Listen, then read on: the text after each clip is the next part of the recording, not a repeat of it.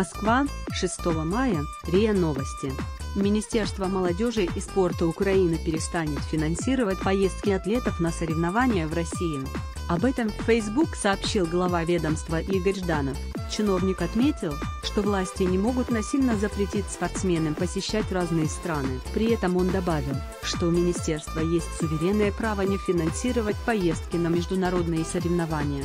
Еще раз подчеркиваю, министерством не будет потрачено ни гривны средств налогоплательщиков на поездки спортсменов в Россию. Никаких выплат государственных призовых за победы на таких соревнованиях осуществлено не будет. Меньше чем больше чем именно в таком виде сегодня действует приказ министерства и будет действовать в дальнейшем, чтобы никто не сомневался, написал Жданов. Министр подчеркнул, что те спортсмены, тренеры и болельщики, кто посетил Крым, будут остановлены Госпогранслужбой Украины, неважно, это граждане Австрии, Великобритании, России, Испании или других стран, пояснил руководитель ведомства. Ранее глава МакТомас Бах заявил, что запрет Киева на участие украинских спортсменов в мероприятиях на территории России, введенный в марте, больше не действует. По словам Баха, для этого МОК пришлось взаимодействовать с властями Украины на различных уровнях, вплоть до